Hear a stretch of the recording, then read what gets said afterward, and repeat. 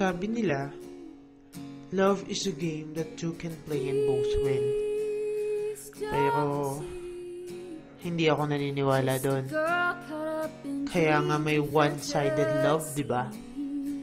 Hindi lahat ng nagmamahal nananalo. Hindi lahat ng nagmamahal nasusuklian. At kung paano ko natutunan yon, ito ang kwento ko. Ako si Glenn. Tinatawag nila akong Glenly noon. Pero noon yon. Nung mga panahong, ano, basta, noon na, ano ako, Oo. Lalaki ang gusto ko dati. Since high school, best of friends kami ni Mar at ni Hazel, ang babaeng nagpatibok ng puso ko. Pero may rule kami na hindi pwedeng i-break. Friendship over love. Natatandaan ko nung umiyak si Mar dahil sa lalaki. Kinalbo namin siya. Kasi ba naman, ayaw niyang tumigil sa kakaiyak. Di siya sumasama sa amin kakamukmuk. Hello?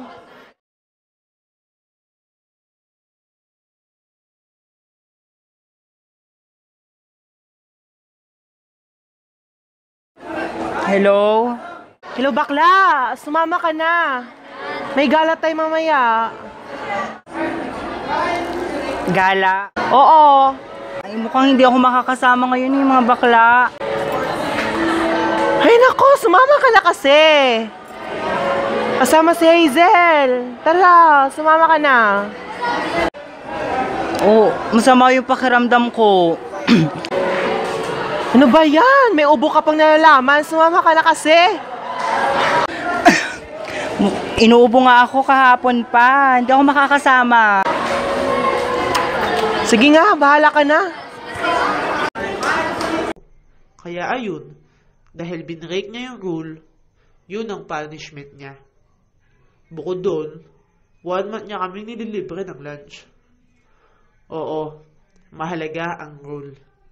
Yun na yata ang nagpatibay sa friendship namin. Play safe masyado itong si Hazel. Kulang na lang kasi yata, kunin siya sa MTV ni Kim Chu sa walang humpay na pag-asa niya kay Michelle. darating na si Mr. Right. Alam mo, darating ang tamang panahon. Makikilala ko din siya. Kaya naman, never pa siyang na broken-hearted dahil sa pag-ibig. At dahil siya lang ang babae sa amin, naging habit ko na yata ang paglalagay ng lipstick sa kanya, pati na pagsusuklay sa buhok niya. Nabet na bet ko noon. Magagalit ako kapag pumasok siya ng nakalipstick. Kasi ako dapat ang maglalagay nun. Pero syempre, di ko naman siya papapasukin nang hindi nagsusuklay. Kaya tang school activity na hindi kami ang partner. Si Mar naman kasi, life partner yata ang hanap. Minsan, nasaktan din ako. Si Hazel ang tinakbuhan ko noon. At dahil sa napakamakapangyarihang rule na pinaalala niya sa akin, naging okay din agad ako. Bakit nga? Bakit nga?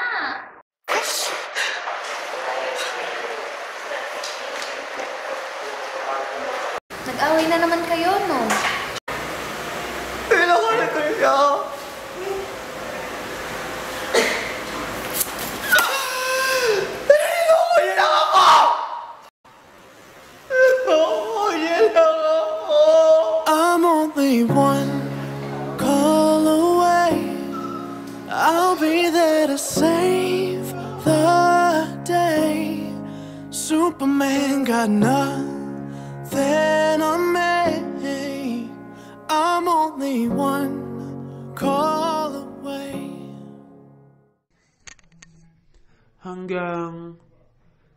Isang salita mula sa kanya ang nakaantig sa puso ko. Ano ba yan? Mga katombo yan lang yung peg.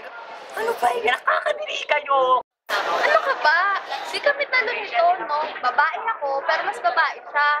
Maganda kaya ako dito. Oo nga, maganda ka. Gwapo pa. Grabe. Gwapo pala ako nung lagay na yun. Siyempre, nung una, hindi ko yun pinansin kasi alam ko namang maganda lang talaga ako noon. Isang araw, akala ni Hazel nakilala niya na yung Mr. Right niya. Si Aaron. Mukhang bet naman talaga siya ni Aaron. Laging inaabangan pagkatapos ng klase. Madalas hinahatid sa bahay. Sabi pa ni Hazel, kahit wala daw tumama kay Aaron sa science ni Mr. Wright, okay lang daw. Si Aaron na raw talaga. Tagal niya, bakla. Oo nga, kanina-kanina pa tayo dito. Ano ba yan? Ay, naku, bakla. Aga akong gumising. Yan talagang babaeng yan. Ay, Ay, ano na? Ay, Bakit? Parang may kasama. Namin siya kasi noon lang namin siya nakita maging ganun kasaya. Di niya pa naman kami kinakalimutan, kaya go lang. Kasama. Si Aaron. Kasama pa, di ba tayo-tayo lang? Hi! Basta! Hi, friendship! Kasama ko nga pala si Aaron. Ah, Ay, akala ko ba tayo-tayo lang? Eh, kasi... Papakilala ko nga sana siya sa inyo. Tara na!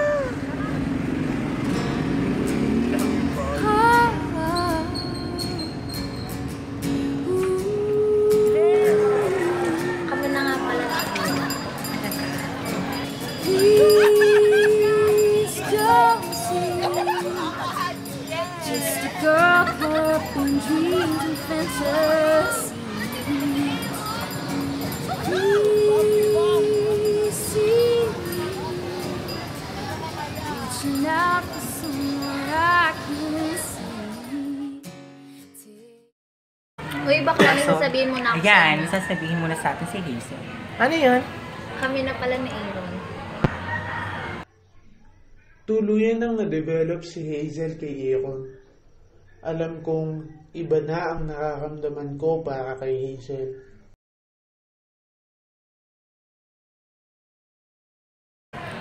Kailan lang? Ah, last week lang. Mm, congrats ha. Oh my God! Kailangan pala natin mag-celebrate. Mag-celebrate! Oo, oh, celebrate! Ano ka ba? Ba't parang di ka naman masaya para sa Hindi, akin? masaya ako na ako naman. Ako sobrang saya ko. Di ba pare? Apir nga. Abe, mm, di ba masaya ako? Basta alagaan mo na tong best friend namin ha. Mm. Pag ito may mangyaring masama, lagot ka sa akin. Ako, pag ito niloloko mo, ewan ko na. Pag ikaw ha may nangyaring masama sa'yo, nandito lang ako. I mean kami ni Mar. Kaya wag kang mag-alala. Uy, bakla, malapit na Valentine's Day. Sino ka date mo? Naku, marami kang lalaki ngayon. Ay, nako, ayoko nga sa kanila ngayon. Ay, nako, tumingin ka nga dyan. At yung mga ganda-ganda mo. Ikaw talaga, be? Ito sila. Baka may plano sila. Pero, dalawang bagay ang pumikil sa akin. Anong plano nyo sa Ang mata Valentine's niya Day? pagkasama si Aaron. Ay, Ang namin. Ano ba yan? Ikaw. Wala, wala. Ako feeling ko mag-ano ako sa family ko. Kasi sila yung tunay na mahal ko. Pati pa naman dito bakla. Kami na lang palagi. Oo. Nako, na ano Buti ka? pa nga dun si ano eh, may, may love life na. Di ba may mga love life naman kayo? Yung akin matamlay. Salo. Naghiwalay na kasi kami dati pa. Paano yun? Ano, wala palang kwenta sa atin yung February 14. Ewan ko, sa kalendaryo ko kasi walang ano, February 14. Wow, Ay, bitter! Dalawa. Oo nga. Siya kasi may boyfriend. Sino siya? Sino ba ako? Ha? Ako ba? Oh, magkwento naman kayo sa amin about sa inyo. Oo nga. Bakit? Saan kayo nag-start? Bakit mo siya sinagot? Bakit si Hazel at hindi ako?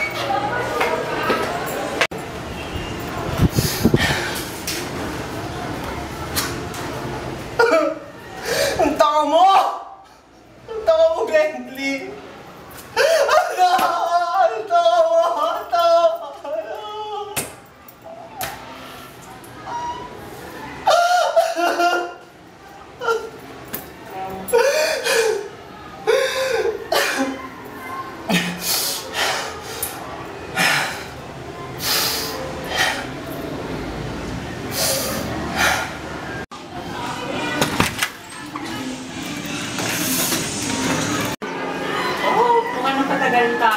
Kaya nga eh. Oo. Kung mukhang umiyak ka pa. Nga Ano ba yan? Hindi, no? Ba't naman ako iiyak? Hindi ako naiyak.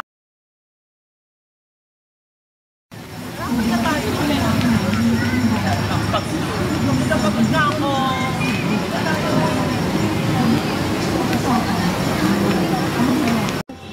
Hindi ako na. Ako na nga lang.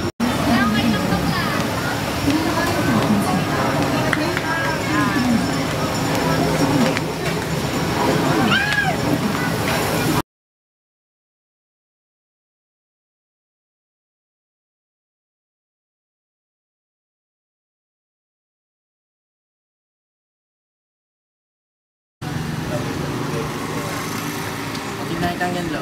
Hindi, okay lang dito na lang. May tayo. Oo, kaya.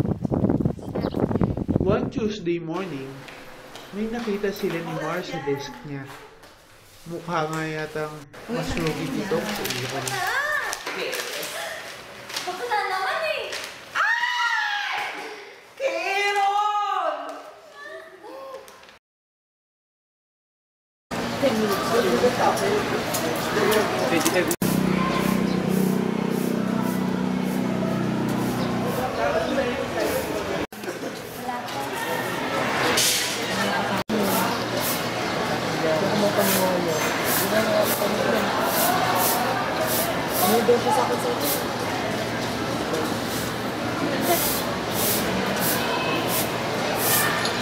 Aaron,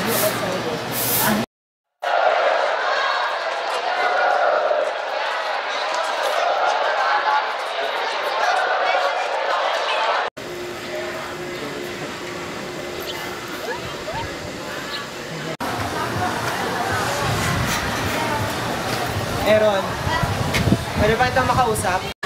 Ay, bastos tong batang to ah. Kailangan natin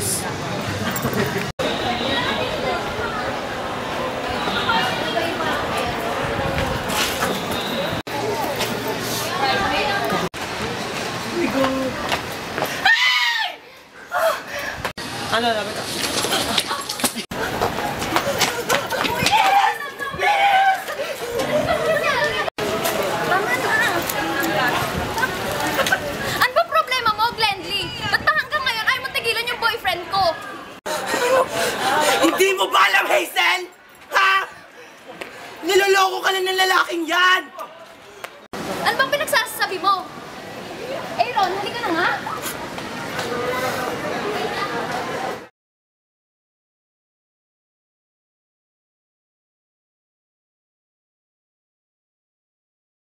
Hazel, pwede ba kitang makausap?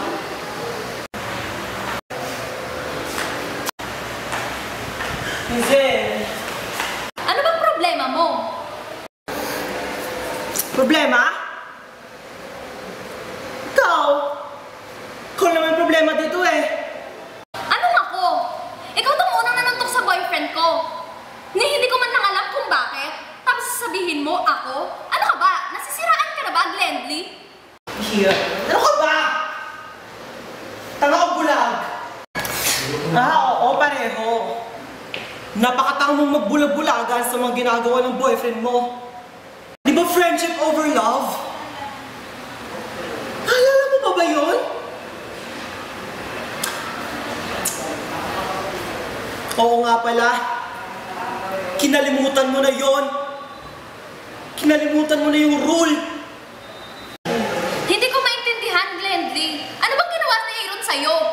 Alam mo? Best friend lang naman talaga ang tingin ko sa'yo eh. Wala lang sa akin mga ginagawa natin. Pero ngayon, ewan ko ba? Ewan ko ba? Kung bakit nailap ako sa'yo. Oo, Hazel. Oo, mahal kita. Mahal kita, Hazel. Hindi bilang isang kaibigan. Mahal kita dahil mahal kita. Hindi ko alam. Bakit? Dahil may puso kong babae pero mahal kita. Naintindihan mo ba yun? Pwede ba, Glendy? Tama na! Yung sulat? Sa akin galing yun. Binrake ko yung rule. Oo. Sa akin galing yung letter. Nabasa ko na ang first sign kay Mr. Right ay ang bigyan siya ng letter one Tuesday morning. Trying hard ba? Mukha nga. Simula kasi noon, nailang na siya sa akin. Hindi na siya sumasama sa amin. Kahit si Mar, naguguluhan na rin sa nangyayari. Please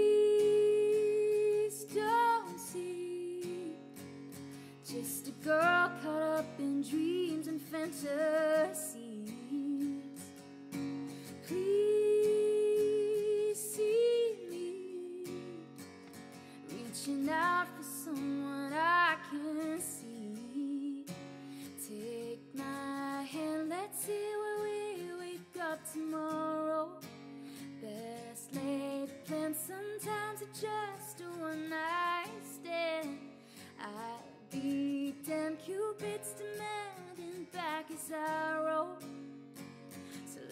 Drunk all night. Seems that God tell us the reason youth is wasted on the young. It's hunting season. Lumipas ang panahon at sa patuloy na paglipas nito, isang bagay ang natutuhan ko.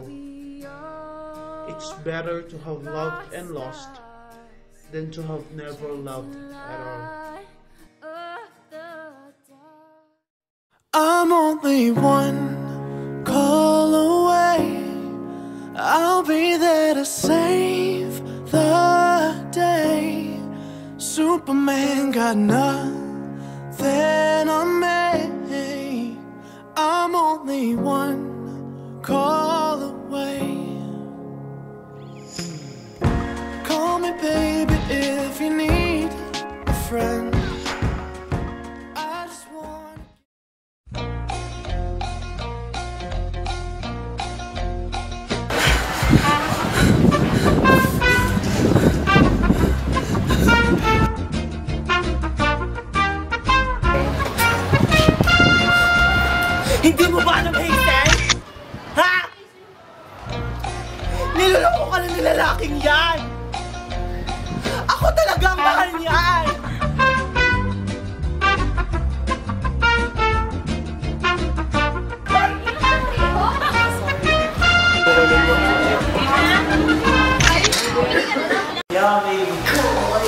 Wala, pag yun naka-record, ewan ko na lang.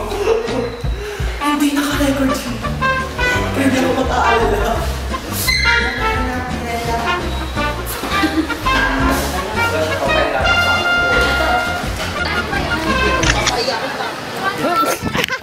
Alam talaga ang tingin sa'yo eh. Hindi ko alam. Tumitili ng puso ko.